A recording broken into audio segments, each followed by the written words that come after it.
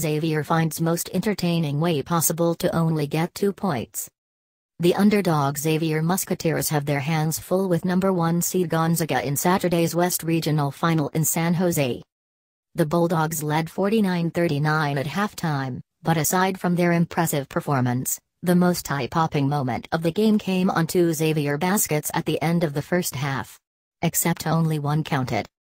With about 30 seconds to go in the half, Xavier's Trevon Bluiett pulled up for a jumper that hit the front iron and came down to Gonzaga's Johnathan Williams. As Williams tried to secure the ball, this happened. RaShid Gaston was the closest musketeer to the ball, so he got credit for the layup. Gonzaga then came back down the court, ate up most of the remaining clock and got a score from Nigel Williams-Goss to push the lead to 49-39. With just a couple seconds remaining, Xavier inbounded to JP Macura, who threw up a heave from about three-fourths of the way from his basket. And he nailed it.